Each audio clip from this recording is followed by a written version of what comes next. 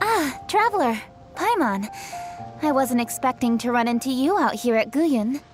What brings you here? You'll have to make it quick, I'm afraid. I really can't afford to chat for too long. As you can see, we're working on a construction project. Personally, I consider this project to be of greater importance than the Jade Chamber rebuild. That's why I'm here to supervise.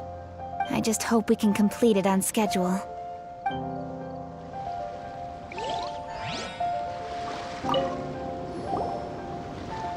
Ah, Traveler, Paimon. I wasn't expecting to run into you out here at Guyun.